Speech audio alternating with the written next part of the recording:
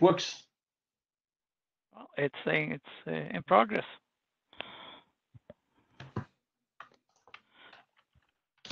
Okay. Okay, let's let's get going. I guess we we have uh, three minutes past. So, um, uh, this meeting is uh, really to discuss a POP. So and. Uh, um, so what I would like to do is uh, kind of um, first um, I have one one page kind of to to uh, to show about the the documents documents because um, um, Roman and I don't, don't have a very long history with uh, uh, with OAuth and and some of those documents are uh, really old so so I want to just present those documents. Th these are mainly the documents that Hannes shared in the invitation. Um, and let me, where do I share? Do I share here?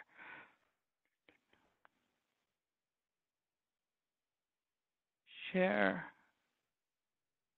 content.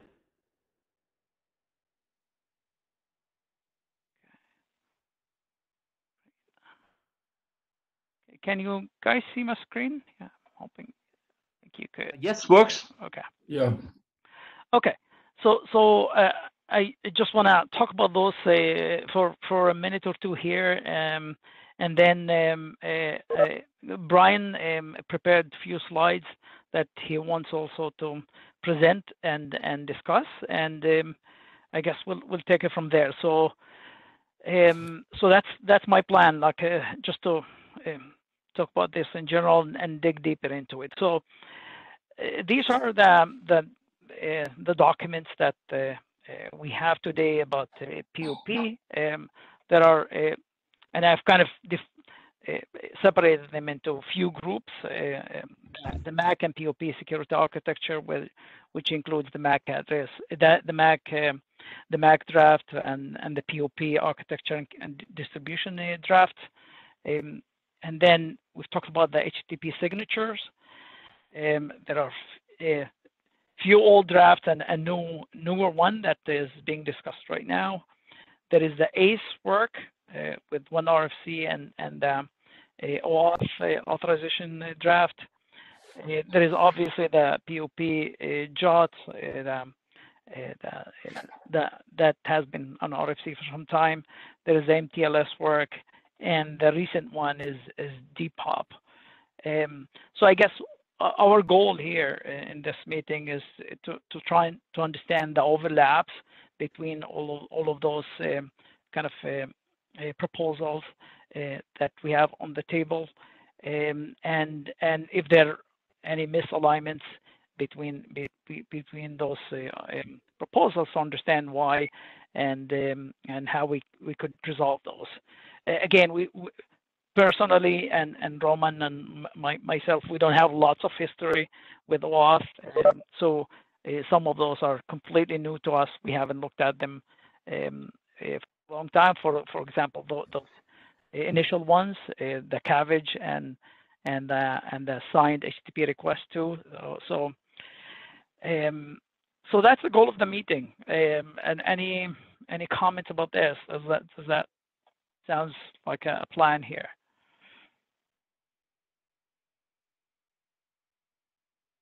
Okay. Okay, so um, I don't have slides prepared, uh, so I will, um, I guess, um, um, pass it to uh, Brian to be able to um, kind of walk us through his slides, what he has to say, and uh, and we'll take it from there. Okay. Should I just try to share directly from here? And yes. okay. I cover some of these drafts a little bit too, so I'll try to talk about them a bit more. Let's see. Um, does this? Yeah, we can see it. Does it show up in kind of slideshow mode here? Uh, yeah. Okay. Oops. Um, so yeah, so as is my trademark here, throw a few photos up here, and we've got a um, interim meeting. Uh, this is the second one between the Singapore and Vancouver, but um, uh, between yeah Singapore and Vancouver. So here you are. We're uh, want to talk about just sort of the general concepts of proof of possession in OAuth 2 and um, the variety of different tracks of work that are out there and, and what's currently being worked on or there's interest in and see if we can come to some um, at least uh, agreement on where we should be taking the work and, and what we should be doing going forward. So I'll try to set the stage for some of that and uh, yeah. So uh, back in uh, Singapore at 106, um, we had two different meetings and just to try to set some tone for how we got to this interim, um, there's a recording from the uh, YouTube shows uh, of me in two different outfits at two different meetings presenting the same slide. So I prepared a, a presentation on uh, DPoP and uh, tried to tried to get through the content twice and was um, got got to slide six uh, before a barrage of questions and comments and criticisms were levied, and we never made it past there. Um, and during that time, uh, I think during the the end of the second attempt, Hannes suggested we uh, we consider doing a virtual interim to see if we could move the conversation forward a little bit more than we had during that time. So some things that were were not presented at that time were um, I, I got through part of the technical explanation of how DPoP sort of worked. Hopefully, folks on the call are at least familiar with the basics of of what the proposal is. Um, and then I uh, had a slide here with some uh, some folks sort of praising or expressing interest in the work to try to show uh, that there was interest out there in, in the work progressing and people uh, eager to see it progress and, and consider implementing it. And that whole uh, presentation was meant to wrap up with a beautiful picture of Vancouver and a humble recall call that the working group consider a call for adoption on the DPoP draft. But um, that didn't go down that way, and maybe it's for the better. But there were uh, a lot of different comments, um, opinions, and concerns expressed around the draft, um, and uh, I tried to capture the spirit of the meeting here around the outside here with all the various commenters. This was all taken from the YouTube uh, recording of uh, of the meeting, actually just one meeting but we didn't we didn't get to a call to adoption. It's still an individual draft, and I think there's some uh, some I guess uh, diverse opinions about whether that should become a working group item or uh, as is, or whether there's other pursuits the working group should follow um, to try to attain some sort of some sort of um, reliable DPoP type, or um, I'm sorry, proof of possession type method in OAuth itself. Um, yeah, just setting a little bit of tone here. So Hannes suggested the interim, and we did get an interim scheduled, but it ended up being uh, focused around the the 2.1 or whatever it may be called effort. Um, and then a, a later poll around discussing pop or DPoP, and then finally the sort of last minute uh, scheduling of this as we approach the the the actual meeting here in Vancouver, um, assuming that does happen, but that's a, a different question. And uh, this list of drafts here, as well as um, Daniel sort of asking what what happened to DPoP in, in the list of topics. Um, not necessarily because it's the only thing here, but it was it is sort of the catalyst of discussion right now around uh, how how the working group proceeds with the the pop question. So some of the motivations, um, I, at least in my mind, but I think in general, representing some of the working group motivations for something like DPoP or a generalized pop approach is really there's there's sort of this broad one that we we'd like to do something that's better than bearer tokens, and that's broad. There's a lot of different reasons for wanting that, but I do think that um, there is at least some consensus for having something in this solution space. Also, we have the OAuth 2 security BCP that is um, it was making its way through last call. We might have another one, but it it somewhat aspirationally, but it does recommend the use of sender constrained tokens. Um, and there's some work occurring in uh, the FAPI financial grade API working group that that does the same. Basically, recommends or even requires the use of some kind of sender constrained or key constrained tokens and largely, at least in the BCP, this is around preventing the play or replay um, at a different endpoint or resource from the one that originally received the tokens, but there's there's a number of other benefits that you know are bestowed upon POP tokens as well. Proof of possession bound refresh tokens for public clients, clients that don't themselves have um, provisioned authentication credentials, is also a recommendation um, of the security BCP, and there's really not a lot uh, we have available to actually realize that recommendation. And sort of furthermore, we, we're in this position where we have these recommendations, but OAuth really lacks a suitable and widely applicable POP mechanism. Um, the MTLS spec was recently published as a as an RFC, which is great, and I think it's super useful for a small sort of niche set of deployments. But uh, quoting um, some sentiment that I think is is held reasonably widely that it, it is virtually undeployable for general purpose applications. Um, I'll let them rename nameless, but a, W working group participant said that during the meeting. And short of MTLS, we don't really have a, a viable solution that's specked out and interoperable that we can recommend um, to the, the populace at large at the same time that we have these um, best practice security documents that are saying you need to do this, which is sort of a problematic situation to be in. It, it's sort of, um, you know, sending out advice that can't actually be met in, in the in the vast majority of cases. And the problems or, or, or the lack of solutions for POP type tokens is actually exacerbated when we're talking about single page applications or JavaScript applications running in the browser if you look at MTLS for OAuth, it would have major, major usability issues with SPAs when you get into the browser requesting from the end user to select certificates um, outside of very, very tightly constrained sort of corporate environments that pre-provision certificates to their browsers. I, I, don't think that this is the sort of thing that the average user um, is, is really capable or willing to deal with. It'll cause a lot more problems than it would any solutions. Um, and while many of us, myself included, um, sort of penned our hopes on token binding for a while, it's really dead in the water in terms of adoption and implementation in the world. And even if it was moving along, um, or it wasn't caught in the situation, it needed fetch level API changes to actually work for SPA type applications. And that's an even bigger sort of push to get in there. So it, it, it's just not happening. Um, there's a lot here. I'll try to go through these quickly, but reiterate some of the things that Rifaat had at the beginning, which is sort of a, a look at the existing POP efforts that we've had in OAuth throughout the uh, the ages, if you will. You know, OAuth 1 started with what was effectively a, a sort of Mac style uh, signature operation with the the client key uh, or client secret or whatever it was called at the time sort of mixed into all that.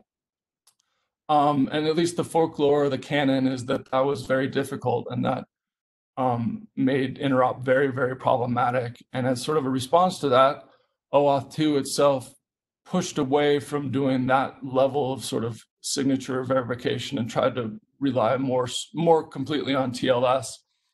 But the some of the participants at the time, including the the author up until the very end, was still interested in having some sort of pop work. So RFC 6749 does have open-ended extension points that would allow for this stuff to happen, even though the, the sort of the baseline framework and the initial stuff was released only with bearer tokens. Um, the author at that time was working on this Mac style tokens um, that was uh, I don't know somewhat active for a while, but but largely just died out due to lack of interest when he resigned from from working on it and anything to do with the working group. Our working group here did get proof of possession key semantics for JSON web tokens published, RFC 7800, which sounds really fancy, but and is super useful, but it doesn't do a lot in and of itself. It largely just defines the CNF claim, the confirmation claim, which is a way to embed in JWTs the key that you would probably need to confirm somehow to have a proof of possession token, but it's completely silent on the way that you would get that claim into the token in a reliable way or what means of actually proving possession what or confirmation during an actual HTTP exchange or protocol exchange would look like. So it's an important building block, but it sort of doesn't do anything on its own. We had uh, an architecture document discussing sort of ideas and almost requirements around what proof of possession would look like, as well as uh, this authorization server to client key distribution draft, the POP key distribution, which describes, um, and it's now expired, but describes both how a public key could be presented to the authorization server by the client, or the server could present to the client a symmetric key, or it looks like list of symmetric keys. It's a little bit unclear, but really just about the, the client and the authorization server um, telling each other what keys to use for the tokens. And along with that, a sort of companion document at the time was this method for signing HTTP requests for OAuth, which was sort of a JWT-based um, pick your own parts, semi-canonicalized um, signing of the HTTP request with the key that presumably was um, received from the uh, use of POP key distribution. That also is is fairly long expired and um, had a, a, had the purported benefit of sort of being an a la carte selection of what was signed which was meant to alleviate the potential problems with signing HTTP in general, which is that intermediaries often change or modify or add to requests as they go through. So the idea being that if you if the client said just what parts it was going to sign, um, you could work around some of those things, but also didn't have a minimum amount of what needed to be signed and, and left a lot up to sort of uh, be negotiated and figured out between the two. Um, and also wasn't able to handle some things like um, repeating request parameters and and some other other cases like that. Um, I think we all know that signed HTTP requests are uh, uh, difficult difficult to do for a variety of reasons. Um, those those two were sort of where proof of possession was going for a while. And then along came the, the shining promise of, of token binding, which did become a series of RFCs out of the token binding working group and were published um, as RFCs. But, and we also had here uh, a OAuth profile of using HTTPS token binding. Um, and I admit to have been uh, very excited and distracted by this, but larger factors uh, came along and this this work as i described a little bit earlier is, is basically um, dead. Um, although the rfcs are there it's really not progressing. There's not adoption or implementation of the underlying technologies and then the the work in this working group on this particular draft stalled out around the same time and it, it too is expired and not really progressing anywhere um, during the course of some of this stuff uh, nat published this uh, JWT pop token usage, which I, I wouldn't say is really uh, a protocol at all um, or anything that would be interoperable, but it is an interesting exploration of a few different ways that um, pop tokens could sort of manifest themselves, everything from um, some work that later ended up being part of the MTLS work right below it to uh, a challenge response type of protocol. And there's some ideas in there, but it, it nothing that took hold beyond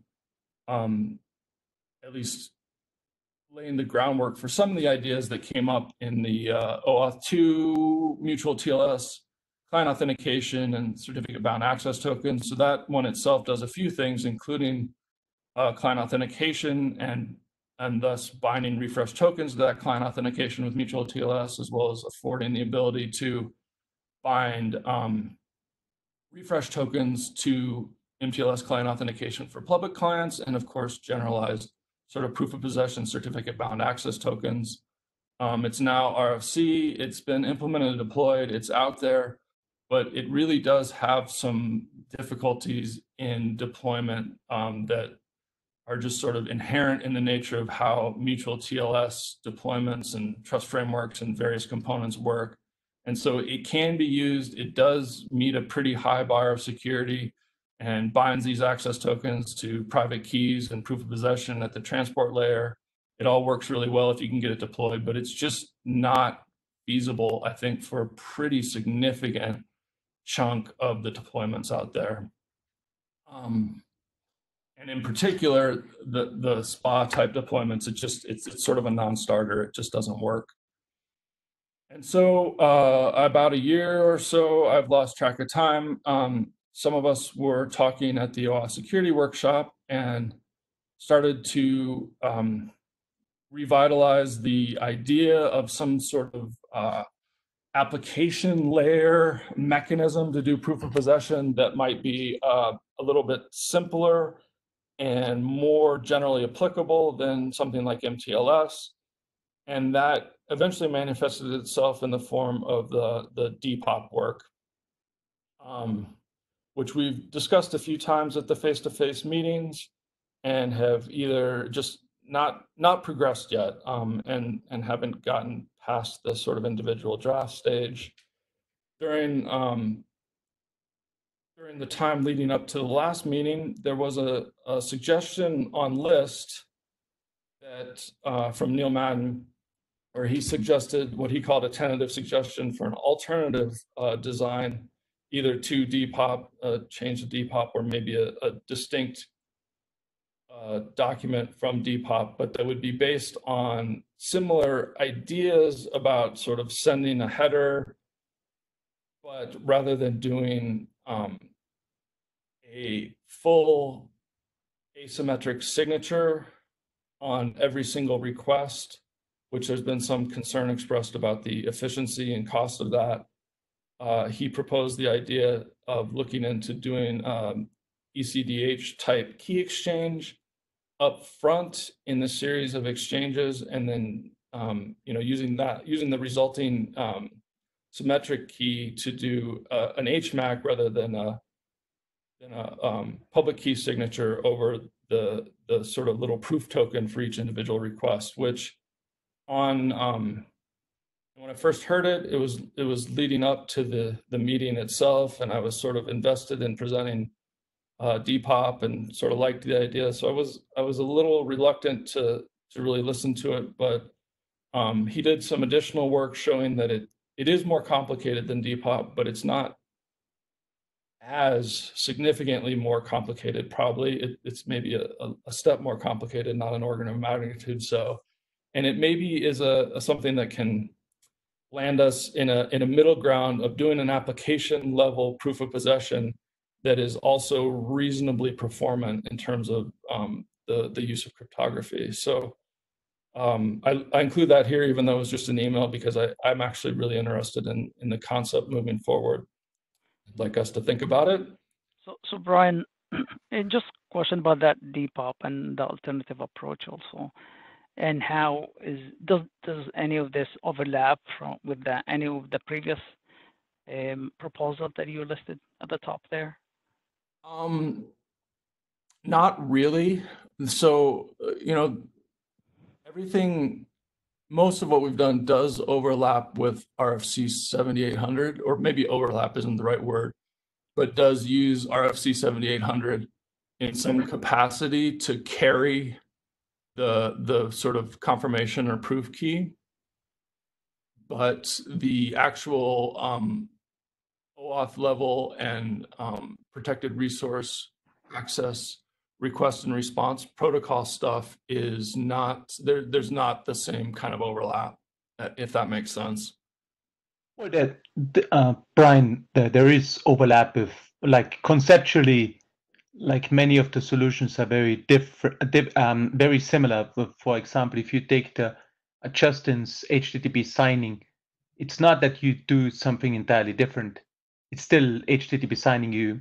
You missed out one thing that I uh, relayed from the ACE working group when they worked on on OSCORE. Uh, they also thought that that would be a, a potential solution. But um, so yeah, you're right. There's, the solution there's space a, is finite here. There's a ton of there's a ton of conceptual similarity across a lot of these things, and um, you did put the OS core security in there, but I don't. I, I'm not sure that that's really the kind of solution um, in anybody in the OAuth space is is even interested in or looking at. But maybe others. That's okay. That, that's fine. Um, um, and and I mean, ultimately, yeah, it, it's all. This is a difficult issue because at some level it's it's um it's really deceivingly simple. You have some key, you you encode some indicator of that key into the token, and then when you use the token, you prove possession of that key. And and at that level, they're all kind of like that, and they're all pretty similar. Um, but there's a lot there's there's issues that that have come up, and we've run into a lot of different problems. And I I think this long list of things is at least somewhat indicative of of it not actually being that simple. So I guess trying to, For example, if you if you try to sort of like uh, illustrate the differences, so for example, in the in the uh, POP key distribution, that focused on symmetric and asymmetric keys, while you later remove the symmetric key part in DPoP. Uh, the token binding, of course, happened at a different layer, uh, which made it different, uh, of course. Um, and the same is true for the mutual TLS, uh, also operates at a at a different layer. Um, I, believe that's Yeah, that's a, uh, big a big difference. Right. What strikes me as interesting is actually the differences. So thanks for that that list. Uh, that was actually really helpful. I mean, it seems to me that we've done a lot of different things in the space, largely in response to needs. And so when we made something, it was responsive to it, and we've done it a number of times to be responsive, and we've which is which is helpful. And then equally helpful is that we've gotten a lot of ex- implementation experience of whether the solution that we thought would address the gap actually works. And it seems like we found various limits to those solutions. And kind of correct me here, it's, it feels like we're circling back and saying, hey, listen, should we be maybe thinking about all that implementation experience and is there a holistic solution that we could start be apply, start thinking through, you know, something more generic? And so if that's accurate, what strikes me is, do we have a really good handle on all of those limits that I would translate instead of saying limits, saying all those requirements of the new thing we would want to generate. And if we were to have that, you know, and we were to say we have this draft DPoP, what's interesting to me is what would not be done, what's what would not be solved with that. one one thing that uh, was an an issue that sort of like the POP architecture was meant to collect use cases, requirements, threats, and so on. And one of the things, um, the symmetric key part was introduced there, and also later um, picked up by the ACE working group. And we had a discussion at some point in time on like where would we do the parameter encoding for the HTTP transport and where would we do the CoAP stuff um, for this? And the decision back then was, after some back and forth with uh, the two groups, was we do the HTTP stuff in in OAuth and the CoAP stuff in ACE. Um, and now, DPoP dropping the symmetric key, we suddenly left some some strings hanging essentially for at least the ACE working group. I don't know if they changed their mind in the meanwhile, but uh, at least that was not my reading of um, some of the documents recently. Well, I mean, just a little bit on that. The ACE working group was till a while ago was tracking a normative dependency on key distribution,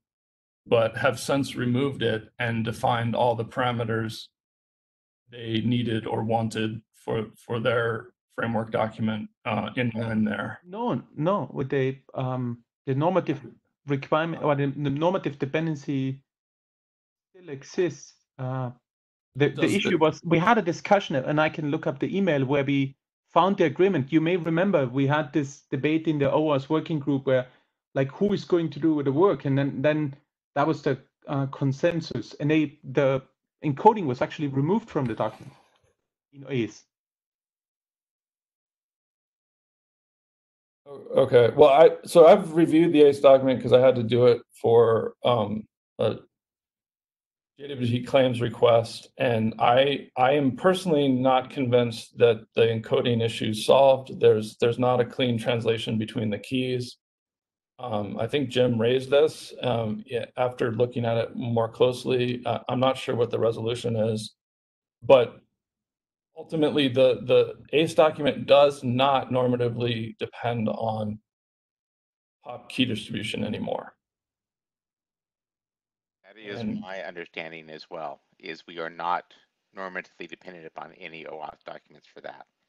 So, so right or wrong, it's it's not that that's not there. So And how, the- how are then the use cases covered where you use HTTP to request uh, a token and then use, for example, CoAP over MQTT uh, to pass it to the um, resource So- server.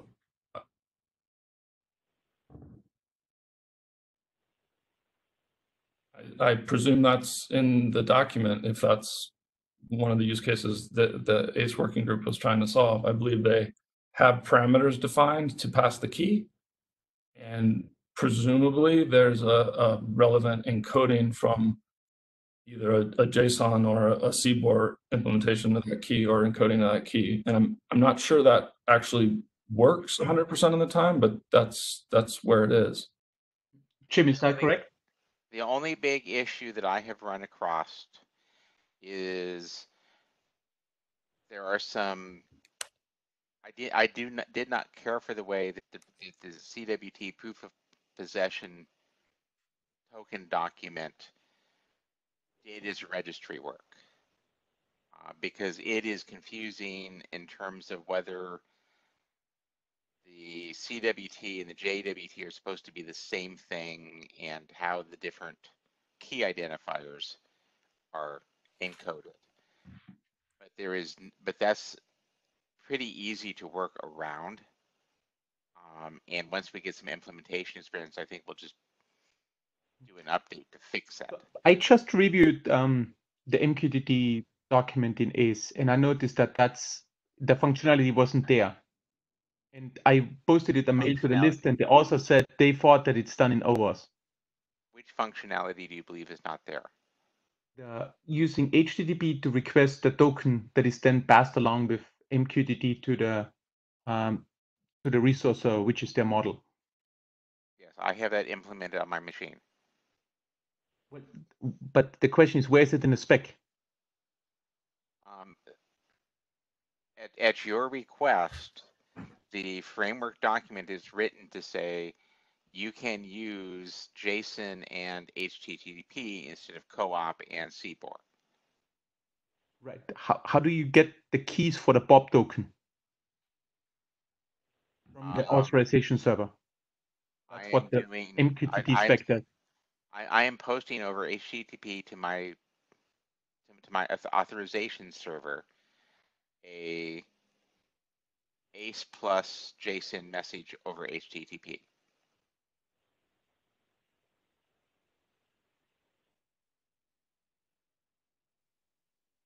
Um, I can push the code up. It's, uh, it, I haven't done that because it's not, I'm not happy with it yet. Um, Okay. because I'm not using a real HTTP server. The, well, um, maybe you want to respond to the email because the authors didn't know how to. Um, Cigdem Sengul here. I'm one of the co-authors of the MQTT TLS profile. Um, I implemented it similarly to Jim said, but I knew that Hannes raised an issue before acknowledged in the group, and that's what I acknowledged in the email, saying that I'm aware of the issue. Um, I just um, the solution I was looking for was a text to say how to resolve the issue in the profile rather than an implementation issue.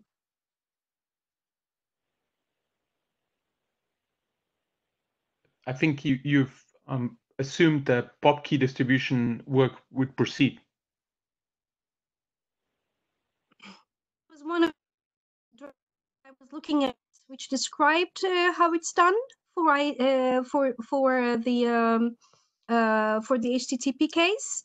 Um, but then Jim pointed out that this has been resolved in the main document in his last email. Um, and that's where I left things.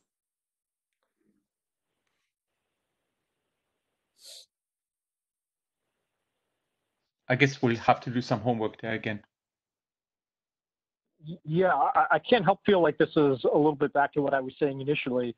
You know, we're trying to create a generic kind of solution here, which is great to help lots of different, well, we can call them use cases, lots of different requirements. But do we get a, do we have a handle on it that if we had a candidate solution, DPoP kind of or otherwise, that that would scratch the itch of all the places we need. And if it did not, what's left to do? Because what I would like to avoid if we're proceeding down a path of coming up with a generic solution that we make what we perceive to be a generic solution, we're done. And as soon as we're done, we say, ah, we actually didn't catch the following.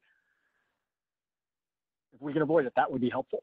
It it would be helpful, but I don't, I don't think we're, we're necessarily looking for a generic solution. Um, so much as a deployable, workable solution for OAuth deployments in the relatively near term. Like that there are dependent, not dependent, but there are additional profiles and regulatory regimes and things that are demanding this stuff or placing requirements on this. And it would be really useful to have something that could be implemented and be interoperable and work. Brian, um, in the original OAuth document uh, 1.0, we had the MAC solution, and then the MAC solution was um, perceived to be difficult to implement, and that's why we then didn't go for that in OAuth 2. Justin was then working on a, a more generic version of, of the MAC, trying to address some of the challenges with the signing. Yes, I'm, I'm aware. I just talked about that Right.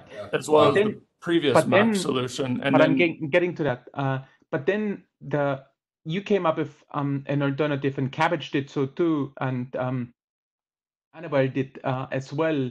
I, I did not come up with an alternative to HTTP signing. I'm very, very much trying to do something that's not HTTP signing here. And I, I realize it's hard to distinguish between the two, but, but there is a distinguishing factor there.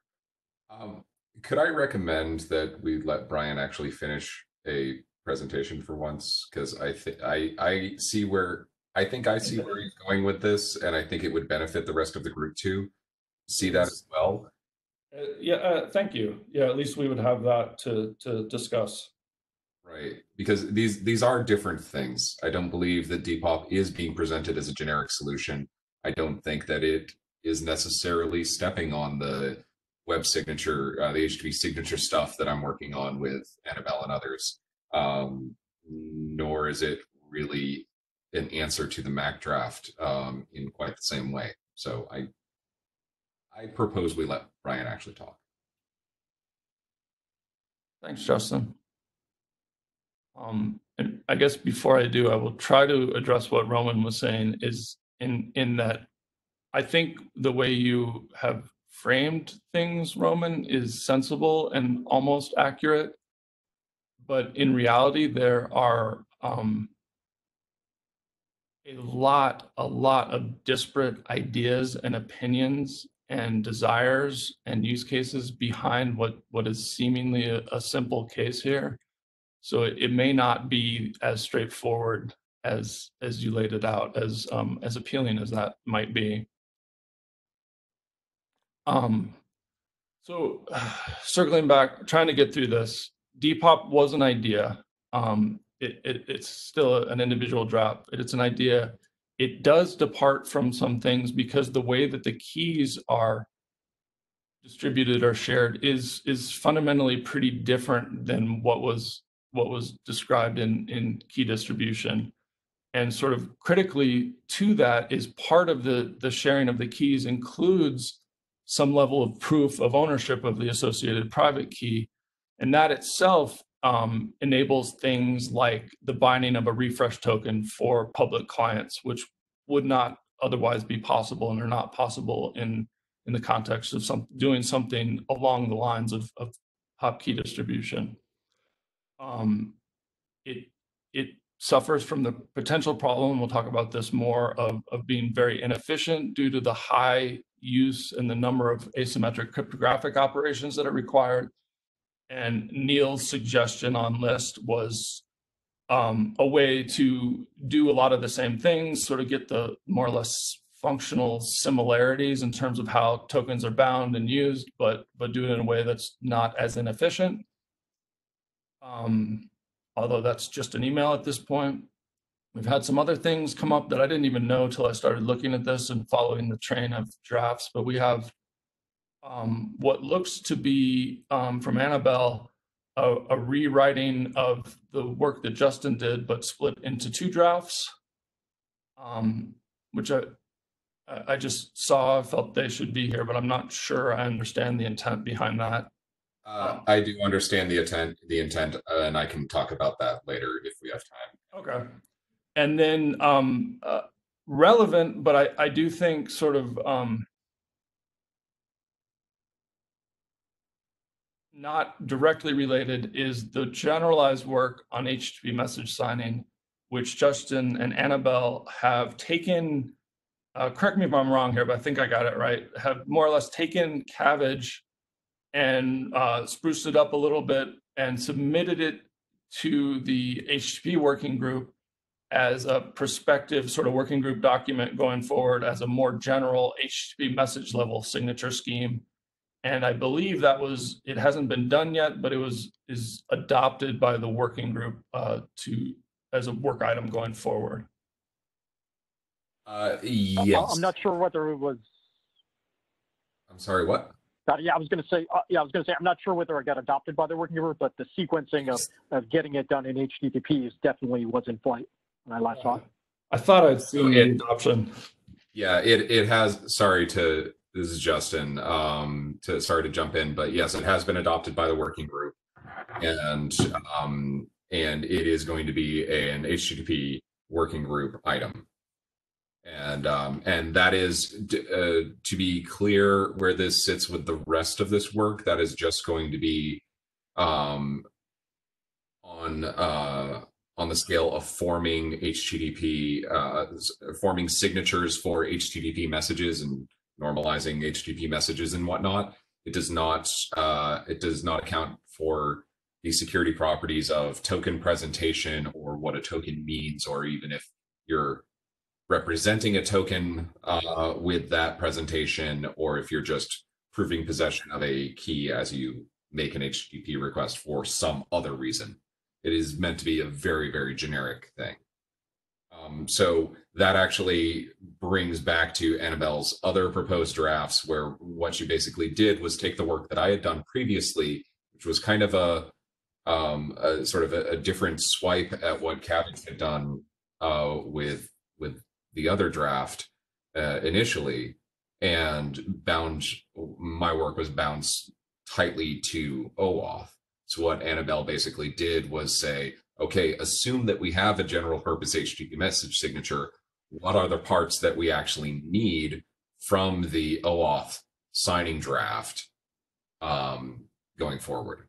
Uh, to what do we need to be in the OAuth draft now that we could actually potentially depend on a general depend on and use a general purpose HTTP signing mechanism, which we could not previously. That's Annabelle's two other drafts. Whoa, okay, I did not read them that way, um, but that might be just a failing on my part. She also has some uh some what if drafts. So i'm i they're all named so similarly. I i'm honestly not sure which drafts each of these are without going Okay. and looking them up. But but basically the, the two important ones are the one that's on the bottom and whichever one says take that one that's on the bottom and put an oauth token in it. Okay, I those are the important parts that latter one I never found or I read it wrong. But the- but but but yeah, yeah it's kind of yeah there there there have been a handful of other what if okay. ones which those those may be but they're they're less important but yeah you're right they do exist there's lots of ideas of how to do this out there but again sorry to s- uh, sorry to jump in trying to No, no, no. It's uh, You it's helpful. Justin, you see how this happens, right? yeah but i gave the floor back Me too. All right, I'll take the floor. So while this was generally around pop in general, um, the the uh, the the interim, the the impetus for a lot of this came out of the presentation and early criticism, or um, not early, heavy or or vocal criticism of DPoP. So I wanted to revisit that, at least try to understand them a little bit better. Um, and so I tried to rephrase or paraphrase some of the, the criticisms of DPoP that came out um, largely during the last meeting, but a little bit on the mail and, and comments here in the pre. Um, and one of those is basically that it's not uh, pop key distribution. That that seems to be a running criticism. Um, and, and yes, it's it's not. It, it's a little bit different. Um, it, it accomplishes some different things, and um, is is different. Um, concerningly, I think, is that uh, an asymmetric cryptographic operation on every single HTTP request is just too expensive, um, at least for some. Um, it's been said to me both publicly and in private that, that this would be a non-starter for at least some organizations or deployments. It just couldn't be done, just too expensive. Um, and if, if you're not familiar with the, the details of DPoP, that's just a, a, artifact of the way it works currently, the way it's written up. It requires a, a unique signature and signature verification over every signal request. And so that is potentially uh, expensive. Um, tracking JTI, so there's a replay prevention mechanism that, that suggests or requires that JTI be tracked um, and rejected if, if duplicates are seen. Um, and this makes some sense at a certain level, but it can be really prohibitive at scale. Um, if you have to coordinate sort of whatever data structures tracking JTIs across a large distributed deployment, um, that can be really problematic. And if you combine that with um, at least one way to address the, the prior issue is the asymmetric crypto is expensive, yes, but it could scale out horizontally very well, at least in terms of overall performance and latency. It might still be expensive to run, but it would scale out horizontally well. But if you introduce the need to sort of track JTI across all instances of whatever you're running, um, that sort of undermines the ability to scale horizontally, and that can be really problematic. Um, there is some language in there that I loosened up to try to allow for sort of a, a, a lazier or lighter weight approach of tracking JTI um, to the extent that it makes sense for the deployment, but it is it's still it, it's arguably problematic. Um, and I believe there was also the issue raised that that it could also be sort of um, uh, unexpected or to the point of violating sort of general HTTP retry semantics on in ID, I, am going to say it wrong, idempotent um, requests if different layers of the architecture um, see a JTI and re, and prevent its replay when the the actual processing of the message wasn't seen. So just generally JTI is problematic. Um, and this is kind of not actionable, but I do want to note that it, it's a bit of a Rorschach test, even among the supporters of DPoP. I think different people have their different ideas of why it's useful and, and what the benefits bring for it. So even though there's a, a uh, there, there's criticisms as well as support of it, n- none of the support sort of rallies around the same thing. I don't think it seems like everybody wants to see a little something different out of it or, or has a different idea of how it'll benefit them. Um, which which makes uh, I guess a, a, generalized voice of support and why this is good a little bit difficult.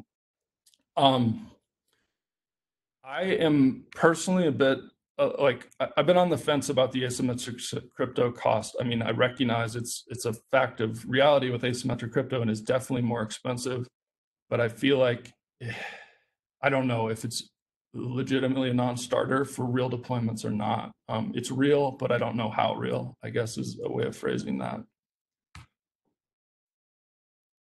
So, trying to sort of um, get a look at where we are now and and where we might want to go. This isn't necessarily all the options, but this is the best way I could kind of phrase it together. Um, one thing we could do is we could stay the course of where we are now um, and I'm not exactly sure what that looks like, but it it sort of stands to be something between doing nothing, which is largely what we've been doing for a while, and maybe revving pop key distribution with some kind of HTTP signing mechanism. Um, and the, the work that's happening in HTTP seems a lot more uh, promising than having the OAuth level definitions of the same kind of stuff. But I don't know that that's maybe but it's also early, so see where that goes, I suppose, um, or or not. I don't know. That the stay the course and sort of do what we've been doing um, hasn't gotten us very far, but uh, there are some developments that might provide some of the underlying tools there that would make that more tenable going forward at some point, although I don't think that's a very near point yet. Um, I know there are some people, um, myself sort of on the fence, but some others too, that are at least somewhat interested in seeing uh, the DPoP work adopted, possibly tweaked, uh, particularly around some of the JTI stuff, make it a little bit better, um, and see if we can get that out there it, as a solution for people that are wanting to do something about this today. A uh, couple of quotes here I had from an email, I think off list, but you know the the performance characteristics of DPoP are are not ideal in some circumstances, but you know for some of us mere mortals, it was said that DPoP really is fine as is. It, it's functional and it can work, and that we have this need uh, to have some kind of sender or key constrained refresh tokens issued to SPAs yesterday. Um, at least for some, there's some real urgency here. They want to have a solution for this, and we don't have one right now at all. Um, binding refresh tokens, just the, there's there's nothing available at this point um, in any sort of standards track to make this happen. So I think arguably there's some value still despite despite the inefficiency problems, um, efficiency problems, excuse me, in DPoP um, that we might want to consider taking on the work and moving it forward. But it, it also runs the risk of sort of complicating things by having multiple options. And we already have a lot of documents, a lot of options, and I think we do need to be conscientious of, of the way we message and the number of solutions we produce in this space. As I alluded to earlier, Neil on list suggested an approach um, that's somewhat similar to DPoP in at least some of the conceptual levels, but, but using asymmetric keys, binding tokens to asymmetric keys, but using ECDH uh, to sort of prove possession of those keys and then to amortize the cost of asymmetric crypto over many requests. Again, this would be riffing on Neil's idea. Um, and this would allow for, even allow for the derived or agreed upon key to be non-exportable. So it could be kept inside of either virtual or real sort of um, TPM-like things or within sort of the non-exportable world of the browser um, web crypto API and allow for unique keys to be negotiated between client and RS or client and AS that are used, uh, you know, with an HMAC to show sort of bind to some amount of the HTTP request to prevent at least large scale or easy replay, show possession of that key, but do so in a way that they're only unique to those two parties. And we don't get back into the need to have additional sort of um, um, audiencing of tokens and so forth to prevent cross RS replay. Um, there's work that would need to be done here, um, but I, after thinking about it quite a bit, um, I'm starting to feel like there's a lot of merit in this idea. And then, uh, I don't know, do something and profit, which is just a, a nod to the old uh, underwear gnomes uh, piece from South Park, a little picture up there on the right. So just quick question, uh, Brian. Just for me to understand uh, the first uh, the first bullet there. You're saying that if we go with the first bullet there, the proposal, then that will address your needs, and you don't need the second bullet, the DPoP? Oh, no, it doesn't address my needs at all. So these are these are two different things that you probably need anyway, right? Is that is that what you're saying? Um, I guess that's part of the problem. I don't know. I would like to see, I, I don't think the first one, it, doesn't solve all the needs and the, the immediacy of it, I don't think is where people want to see it.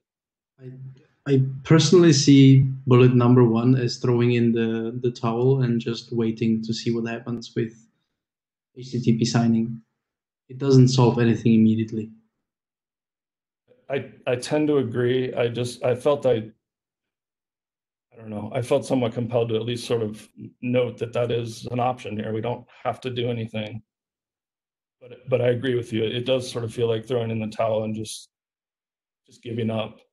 Um, and even if and when HTTP signing finds itself sort of fully realized and deployable, um, and I uh, I say that with a, a nod and hope towards Justin and Annabelle uh, for good work there, and I, but recognizing that it's really it's hard. It's really hard. Um, but even if if we get that done, then there would still need to be a layer of sort of profiling that over OAuth, and in the current world, that still doesn't give us anything for refresh tokens. So it So, so let me just again make sure I understand. So, so you're saying even if we eh, HTTP signing will go and get approved tomorrow, uh, we still have kind of gaps in that solution that will not address the DPoP needs. Is is that what you're saying? effectively yes. If we get the HTTP signing, is that still putting us in the same level of we need a signature operation on every message? I believe those things are largely orthogonal because the HTTP signing is, well, I, I guess it depends on what comes out of it, but it's really a lot more about HTTP canonicalization than the actual signing itself.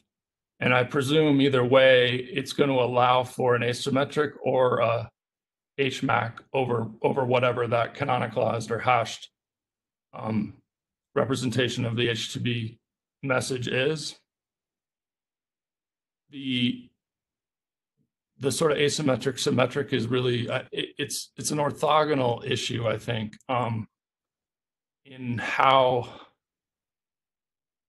the keys are agreed upon and used between the two. Um, and as I say that, there's there's likely some small intersection of signing over some bit of the hd message, regardless of which way you do it. But but having HTTP signing done even yesterday doesn't doesn't solve asymmetric versus symmetric crypto issue. It it maybe gives some different tools for the syntax of what it looks like in presentation, but it doesn't address the core core fundamental piece of it. So if I can just make sure I I understand what you mean by that. So for some, even if we do that option one, it may still be too expensive if it, even if it happened today? Um, m- maybe it depends on how it would be. I, I, that ends up being more of a deployment and algorithm choice question, I guess, based on my understanding of how these things work. Um, Okay. but Yeah. also, Oh, sorry, go ahead. I, I was gonna m- mumble and say nothing worthwhile, so please. Okay, so to give some uh, to give some perspective on the HTTP signing work, um, yes, we are starting with the Cavage draft, but we are by no means stopping there. There are some very, very big problems with the Cavage draft. It's very limited in um, in sort of uh, how it can manage keys in determining what is allowed to be signed and what is required to be signed and things like that. So to uh, to what I think may have been part of Jim's question, um, you know, do you have to recalculate the signature over every request? Well, that kind of depends on what it is that you're signing as part of that request. And um, if you have a uh, a profile that says you must sign, you know, a nonce on every request and check that for replay, then yeah, that's going to change. If you are um, signing parts of the request that don't change over time, including perhaps uh, the access token value itself, then then yeah, that signature wouldn't change over time.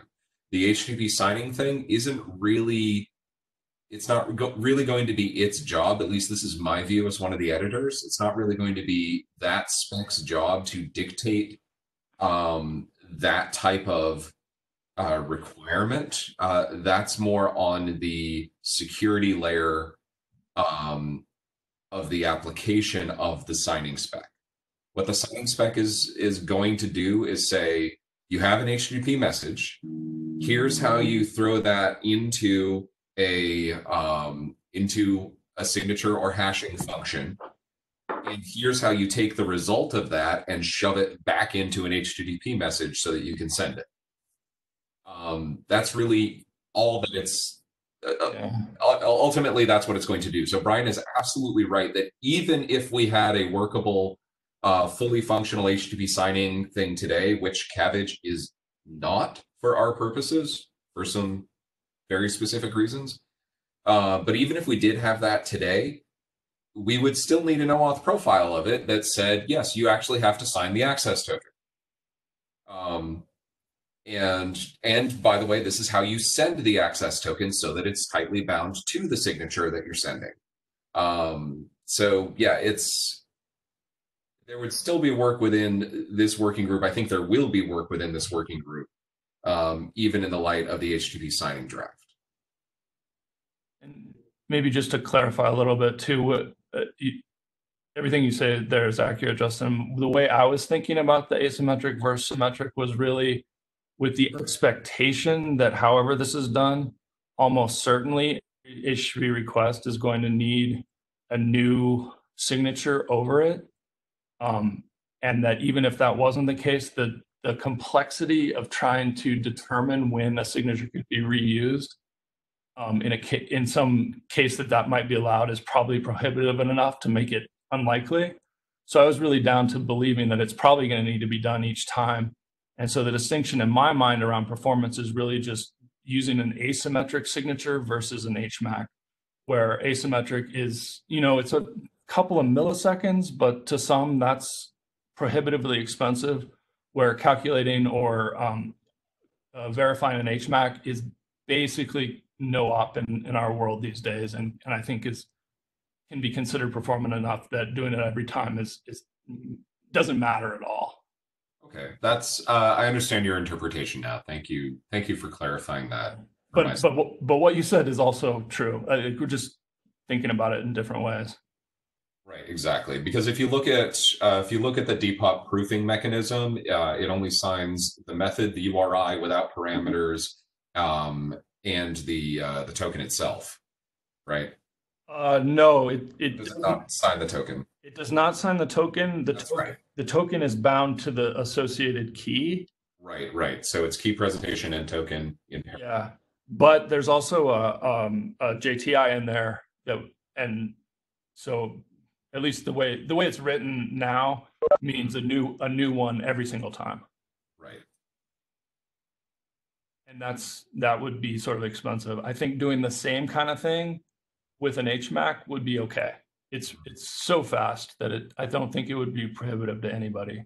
Right, but because of the key distribution mechanism in DPoP, that's that's a bad idea. Yeah. Well, it doesn't. Yeah, like it doesn't really. It doesn't work. doesn't work exactly.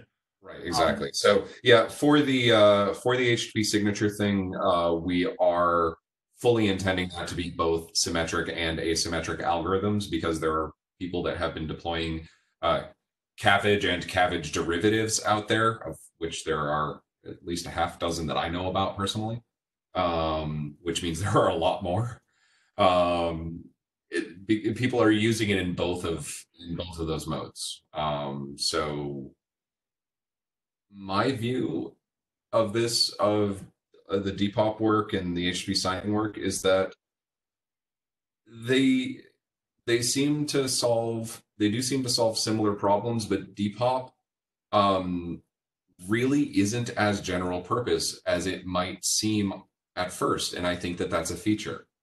Um, it it was not my impression on first reading the draft, and I've told the authors this that it was it's designed as you know key presentation for single page apps. But if that's what it is, it does that really well. Um, and it can probably be used with other apps too, um, if they want to. But ultimately, we're I think we are going to have a general purpose proof of possession with a general purpose HTTP message signature um, that I don't see a reason why that can't live in parallel to to DPoP. Um, there's already more than one way to solve these problems, and it makes sense in different ways for different use cases. And different deployments is really the biggest thing. Uh, I agree with you there, but and I don't know what the number is, but at some point there are too many options. I, I, I I don't know what that number is. yeah, I, I get that argument, but I, I think that that ship has sailed and come and set off again, uh, in, Yeah. terms of- in terms of OAuth. Just my question uh, from my side, Thorsten Wollert. We have today. Sorry, you broke up. Try again. My question is to inform the, the decision or the, the discussion, how many deployable options do we have today? Because Justin and Brian were talking about options, too many options. Deployable, we have one, and it's not deployable in a significant number of cases. So even if we would uh, m- push uh, DPoP forward uh, and also have a solution based on the upcoming HTTP signing, it would be three options in total. That's true. Um, well, but I, I guess I'm because I've been thinking about it. I'm also considering the third bullet here as well. Um, so potentially, Yeah, but that so in terms of actual implementations uh, for for key proof of possession, we have implementations of MTLS, we have implementations of DPoP, and we have implementations of my old HTTP Yeah. message signing that are still kicking around. fair. So those are the three that I'm aware of. There are people that are doing Cavage, but uh, that are kind of tied to OAuth, but not in any interoperable way.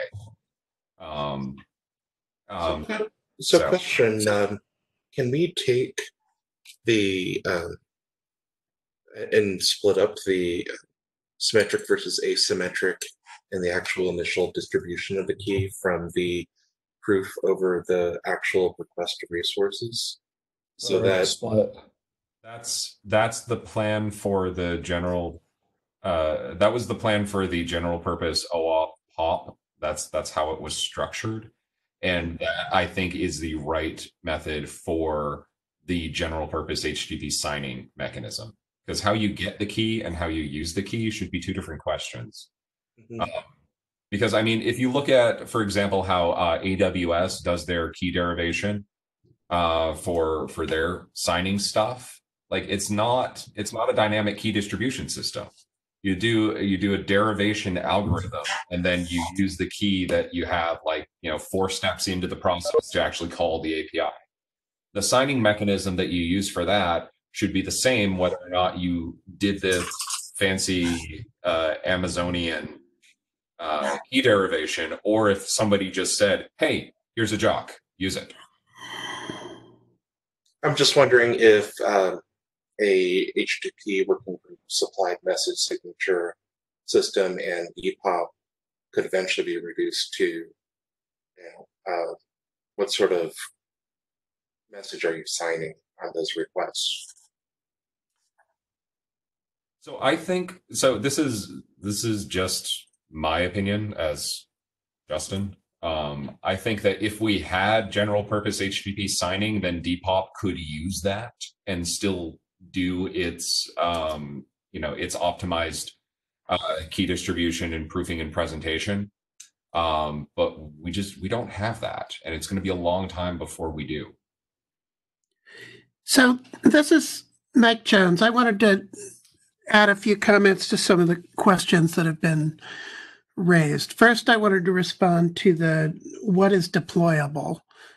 Um, Microsoft is on record as having internally deployed the old OAuth HTTP signing for some internal proof of possessions for Office 365 and Azure. And the reason we did that is it's stable. Uh, it's stable by merit of being an abandoned draft and nobody's revising it. But it gives us something as a stopgap that we can deploy until there's consensus around something better. Um, that said, um, our product groups would also like something that's simple like DPoP. I realize that DPoP is still in flux. Um, but in particular, uh, you know, John and I and uh, Brian talked during the last IETF about, okay, how could we add symmetric to DPoP along the lines of what Neil had suggested? And there's a, a feasible path to do that. It is not quite as simple, but uh, you know, inherently you're having to do a key distribution step beforehand. I do agree with Justin that while the general HTTP signing is of long-term value, uh, it would be great to get DPoP into a stable state soon so that an industry which is dying for this uh, could have it. This is not academic. People are stealing bearer tokens and using them to carry out attacks, and there's a number of mechanisms for that. And so I think we do have an onus to meet that market need sooner than later. So I would like to see the DPoP draft adopted as a working group draft, recognizing My- that we may, ad- may continue to revise it to add symmetric. Oh, so so so you're saying you you support adopting a, a DPoP as is and later adding symmetric instead of initially or or work on sy- symmetric right now? Is that, is that what you're saying? I support adopting it as is to get it in the working group's attention. And then the working group can make a decision about whether to also add symmetric. We know how to do it. Okay. But I'd like to see the adoption happen so that we're signaling to the marketplace that we're addressing this issue rather than just waiting years. This is Filip Skokan, Auth0, and I share that sentiment. I would also like to see adoption of the current state as is. Yeah, I guess we will call for adoption uh, uh, on, on on the mailing list anyway. But yeah, if if people feel that they want to say that they support it, yeah, uh, go ahead. Feel feel free to do that. Uh, okay.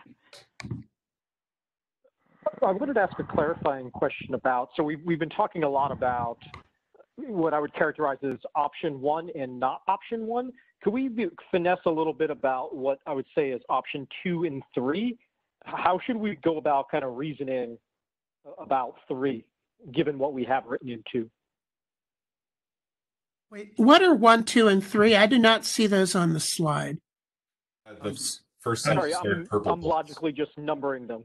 And I almost is had numbers here. I apologize. Yeah, I, I'm calling one stay the course, two push forward with the DPoP kind of as is, and then three was we've had some some kind of conversation from Neil's idea about doing something different, and you know, four I'm not talking about that really has kind of an option. So is there something we need to talk about two versus three? Because that's three seems like a bunch more work than beyond what we've written down in two, unless I'm misunderstanding it. It, it's certainly more work to write down, and there's nothing in draft form written down beyond some ideas. Um, it, it is something that could potentially be grafted on to two, and so they are kind of one and the same, and you could somehow de- choose at runtime which to do. But I think that would be, having thought about it a little bit, I think that would be prohibitively difficult um, and super complicated.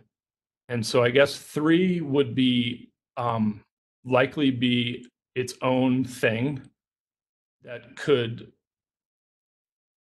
live alongside and be deployed independently of or even in conjunction with two if and when it, it got to that stage um, or we could or or it could just not be pursued and we see if the the need really arises or not um or i guess the some of my thinking was that the the pushback on the performance of DPoP 2 is so significant that it's not worth pursuing and we should jump ahead to trying to build out 3 so it's more it it accomplishes a lot of the same things but is a little bit more a lot more performant and a little bit more complicated.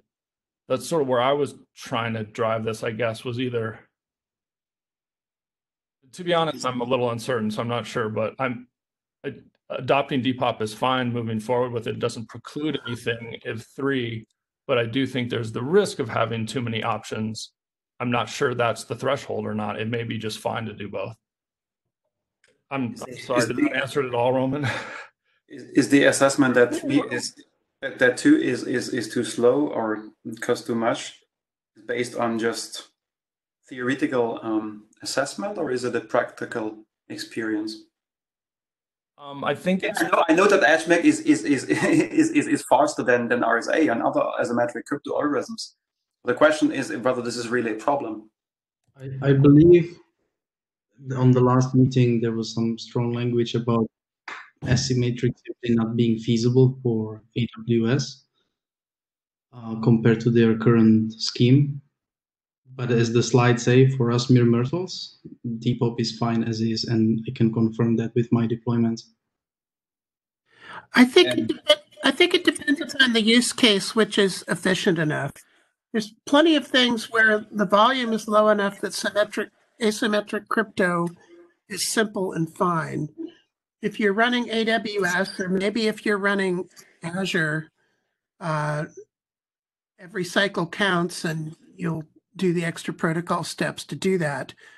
But I think in terms of engaging the working group, uh, the the normal way to engage the working group is to adopt a working group document and then revise it. So that's what I'm proposing. I fully, I fully agree with Mike on that point. I mean, let's move that forward. And if there is a need for having a more efficient scheme, people will step up and will contribute um, new algorithms, protocol extensions, and so on to, to make that happen. So for to me, the, the whole conversation feels like a committee um, uh, wanting to decide what the best solution will be for the market. Uh, Phil Hunt here. I I just had a question, um, somewhat orthogonal to the current discussion, but it may play in, given the timeline to do this work. How does TLS 1.3 make some requirements moot or, or alter uh, outcomes to, to this work? And I sort of say that in the light that Brian did a great job highlighting all the different efforts that have gone on, and I'm sort of concerned that we pile in again on DPoP or some variation just to find out that it will have its own problems because of the other things that are changing around us, i.e. TLS 1.3, and if the HTTP working group is starting to do signing, is it premature? I, I'm just wondering about that. I don't think there's anything there. Um, DPoP is moving away from the reliance on any kind of key or exported key or identifier from the transport layer. Um, and so it could be deployed over 1.3 just the same as it would over 1.2. Um, and there's it's kind of a, a no op. There were there were yes there there were some potential problems with the exported key material and token binding because it wanted to play across those layers. But in this particular like where we're trying to work on the application layer around DPoP is is is sort of completely independent of that. So I don't I don't think there's an intersection or overlap there.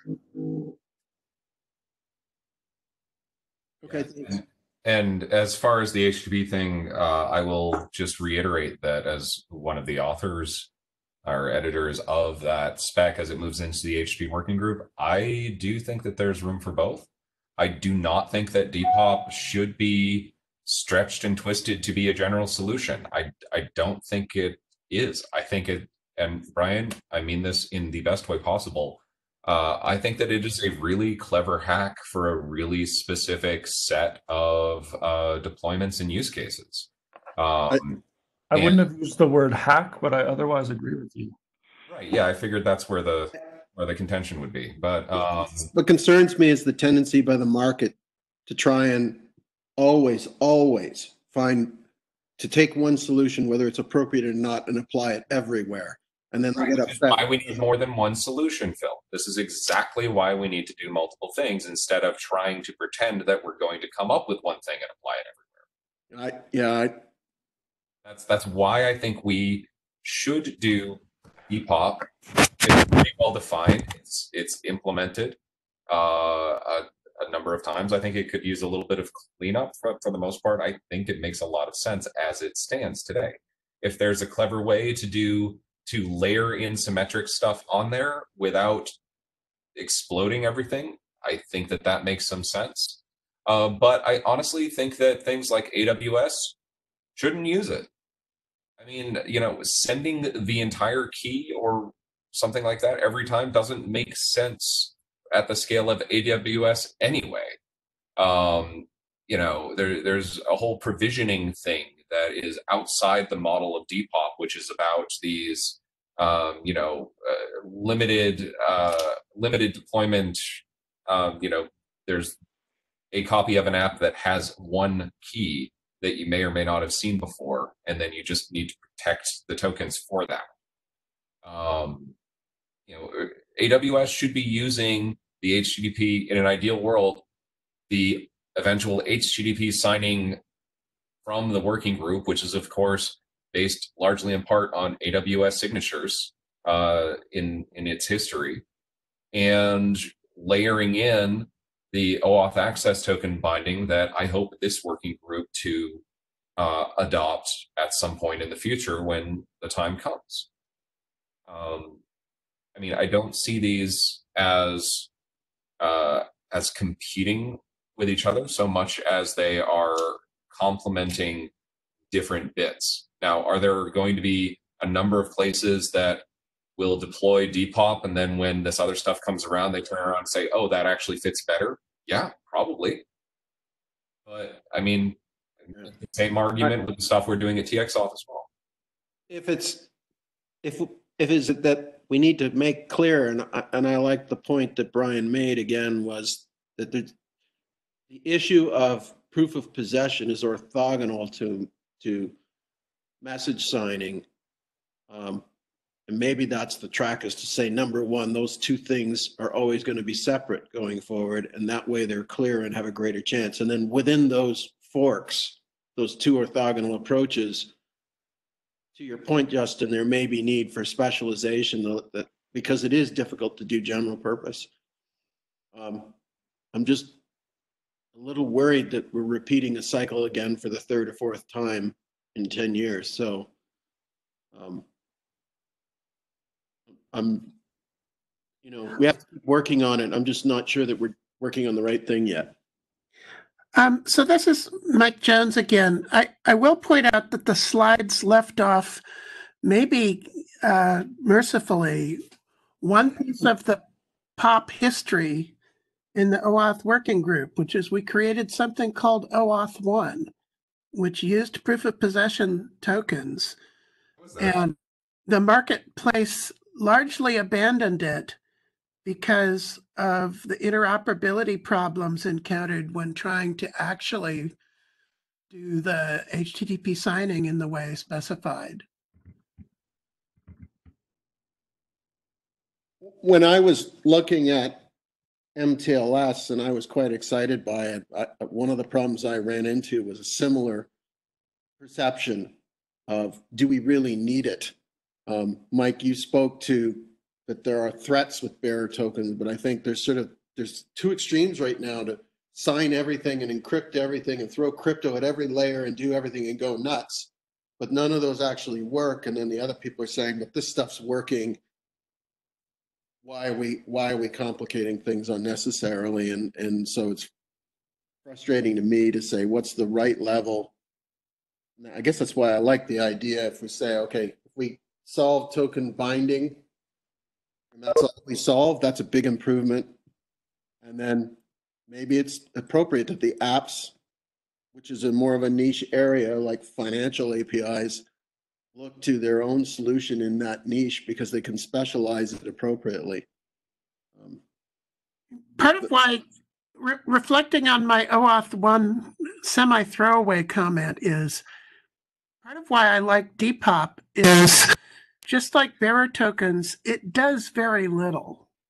It does just enough more to actually get proof of possession.